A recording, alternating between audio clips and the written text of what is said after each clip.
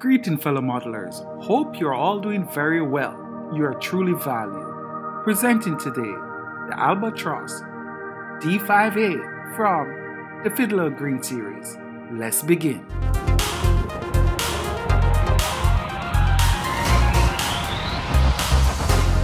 So again, I'm telling you, my friend Chip Finn from Fiddler's Green, visit there, you won't be disappointed. And here we have the Albatros D5A. Now, stabilizer. The machine gun barrels. Very interesting.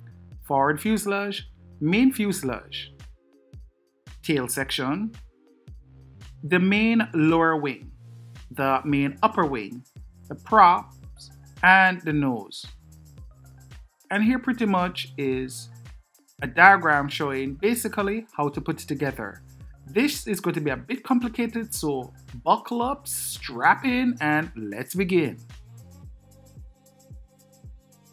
For the tools needed, you know I always have my super glue, my regular school glue, and tacky glue. Very important. Scissors, toothpick, tweezers can never get enough of these. A cutting knife, that's my X-Acto, and my cake decorating tool, ball points on the end, and of course a steel rule. So let's begin by cutting out the parts. Of course, again, everybody has their personal preference. Mine is to cut all the parts out so that we can just focus on what we need to and we can quickly grab as time go by what else we need to cut, sort, and fold and put together. So that's it. Nice. So in assembling the center fuselage, you're going to notice me doing something a bit different. After we finish cut it out, because it's an open cockpit, we're going to shade the inside with my watercolor pencil of wood color. So here is it. I'm going through the length of shading it. Then I'm going to use the brush handle to roll it. We join the parts as indicated and repeat the process with the forward section of the center fuselage. Roll, cut out where the lower main wing is going to go first and then we glue that part together. As you notice, I'm now going to join it and I'm going to just color the edge of the cockpit opening after.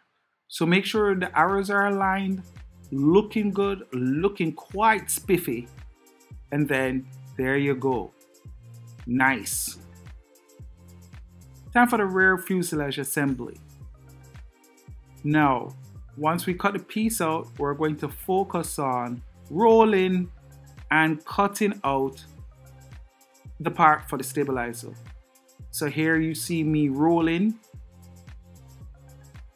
And the reason why is once we cut the part for the stabilizer, we can't roll it pretty much anymore and this is the best time to do it. Now you see me cutting out the part for it. It's not just one slice, it's two slices. We're making it a bit spaced enough as you can see I'm displaying here. You see that wide gap? That is to accommodate when we are putting in our stabilizer. There you see, the gap is wide, it's not just one cut, it's two. I hear you see me trying to use the brush handle to slightly roll what can be rolled, and now I'm gluing together. Pretty much decent here. And now we're going to glue the rear fuselage to the center.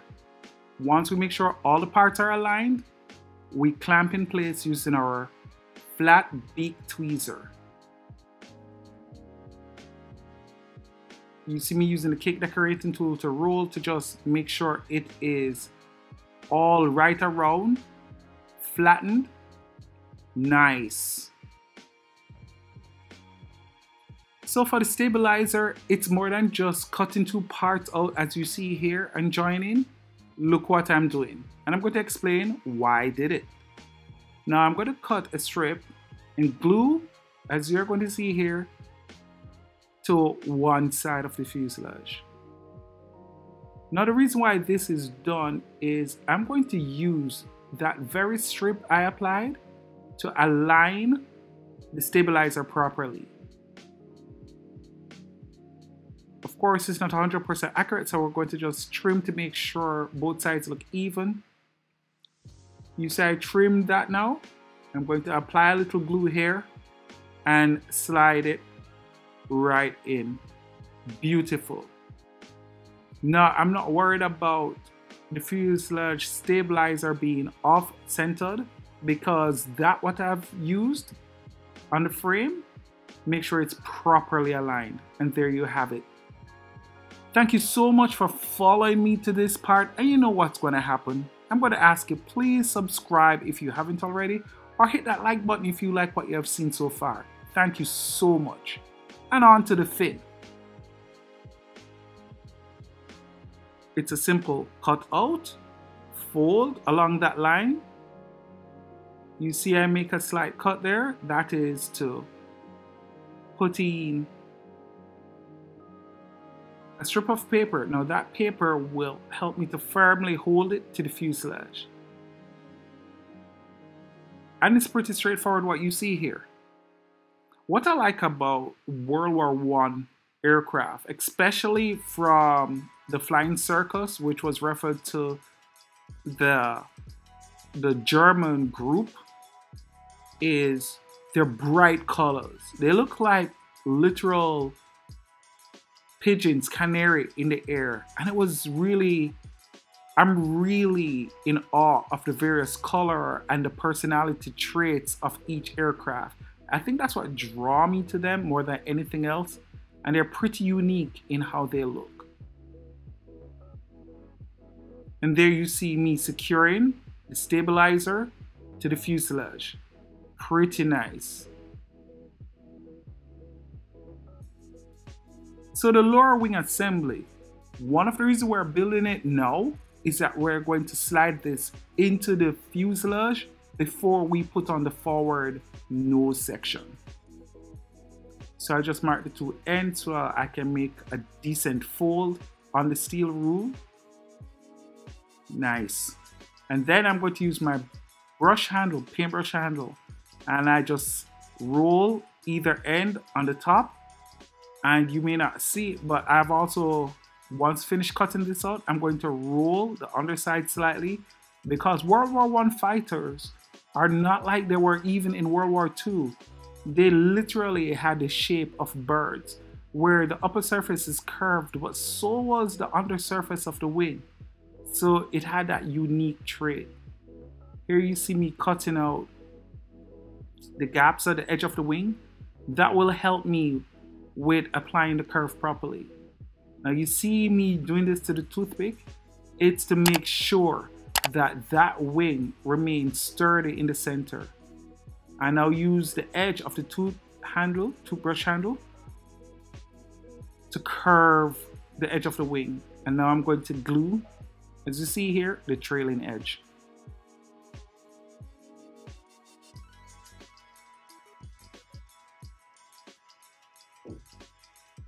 Nice, nice, beautiful.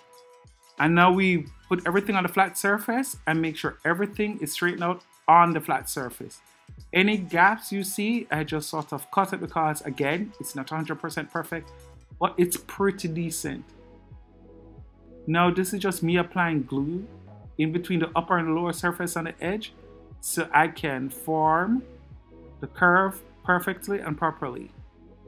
And once I've done this to both sides, I then trim right after with the scissors. Nice. We slide it now as a test to make sure, yes, it can fit. Good. Apply our glue, lock it in place, and watch what I'm doing now. You see those grids on my cutting mat? I'm using it to align the fuselage and the wing to make sure it's literally perpendicular to each other. It's really squared up nice. So now that we have done that, we can now focus on the nose. It's a simple cutout and fix in place. I think what amazed me with the Albatros, building it even for Fiddler's Green, is a high degree of accuracy. In this video, I've not gone into the details of the rigging, of the wing, but it really does add to your model once you're completed. So here is a basic thing you see me applying to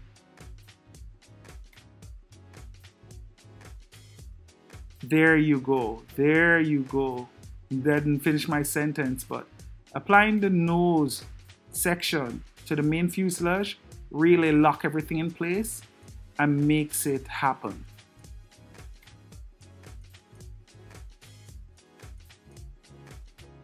And now we do to the front part, and this is where now we're going to go off script. We are going to attach the spinner, which we're assembling now, to that section of the nose. So the first thing I do is cut out that circular part for the nose and I put it on the inside. Right? I don't have to bring it up to the very edge, but I super glue in position so it will always maintain that proper profile of a circle. Here now you see me assembling the spinner. Use that tiny ball. You could use the edge of your brush handle too. And then here we're doing the nose.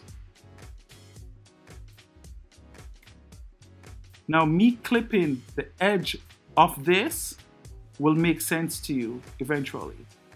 Because once we now assemble the two parts here, we're going to use our tweezer to hold everything in place. And those snippings you see me do will help with the paper holding that curve and making it look more realistic. And now we apply what we have to the forward section. Nice. Make sure the parts are aligned where the engine would be.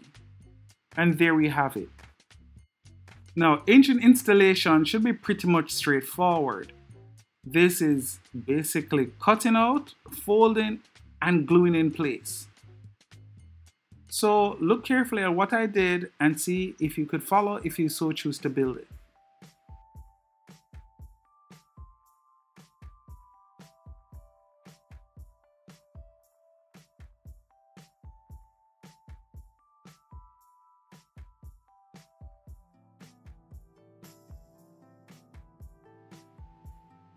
Here I use the combination of using that tacky glue and then use the super glue to properly hold it in place.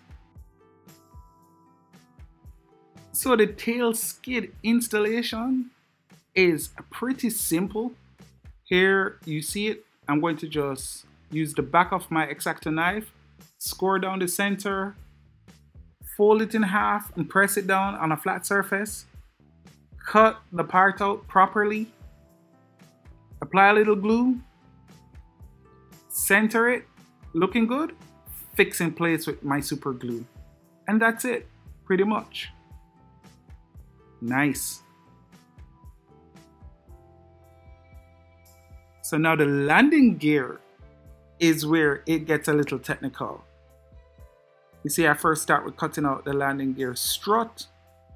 I'm going to get an extra piece of card sheet to this, I'm going to put the landing gear strut on.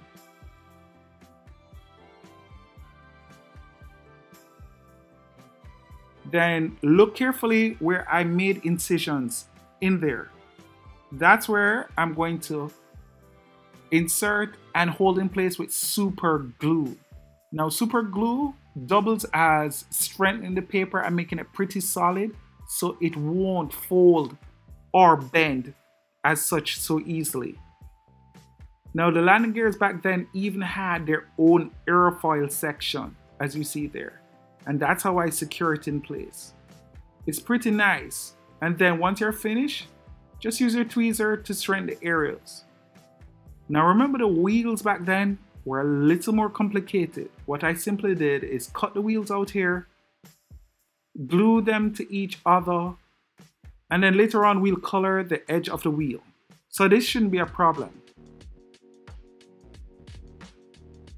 And after we have done this, we're going to use our blade and put a slot in the center and onto this we attach the wheels onto our landing gear and secure in place using our super glue. Now the cones we make, it's pretty simple. It's a matter of just creating that circle using your brush handle to help with that shape.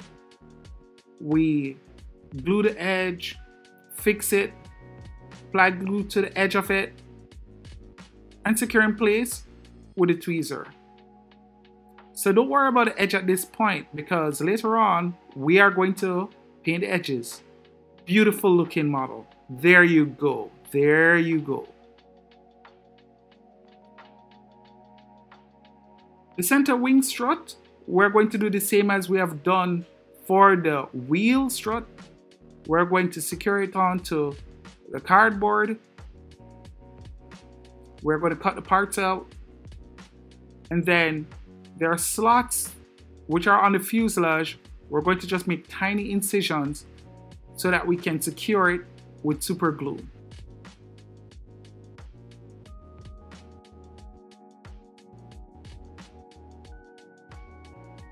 The gun emplacement is pretty straightforward. I simply cut the barrel of the machine guns out. I'm going to roll it over a toothpick once it's rolled, I'll remove the toothpick and just put some super glue down the center, which will hold the structure pretty steady. And then I'll just secure in place using regular glue. And that's pretty much it. Lovely.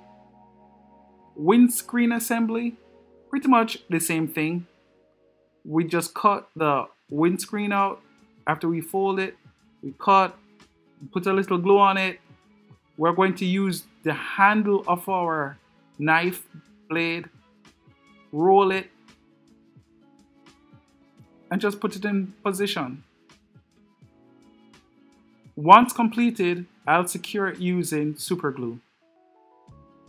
And now we're almost at the end of everything.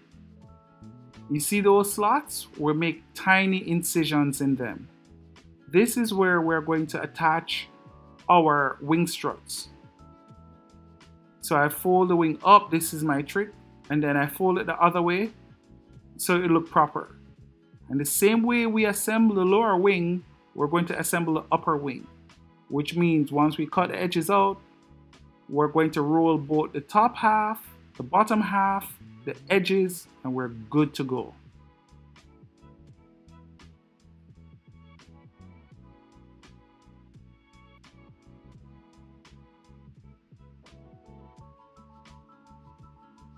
Don't forget the toothpick, which I use to strengthen that upper wing. And then you see me glue the center here first. That's to hold everybody and everything. And then I glue the rest of the trailing edge.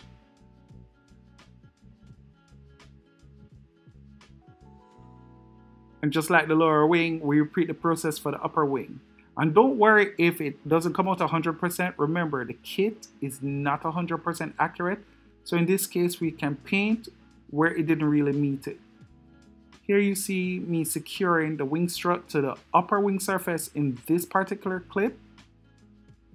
And then I'm shading with my watercolor pencil the inside. And pretty much it's just tacking both sides in, gluing into position. Pretty much, that's almost complete. Your model is almost good to go. We're going to put the radiator heat exchange on top, secure in place. The last piece, the prop. So by this now you know the usual drill it is to use the back of the knife, fold, glue, cut, and install. So see what I'm going to do here? I make that incision in it and then I just put the blades in, align them properly, and then hold in place with super glue. And there we have it. I just want to thank each and every one of you, especially my Patreon members. Thank you so much for your support. Thank you for everything that you have done. And what I say always is be gentle to yourself, love what you do, and one love.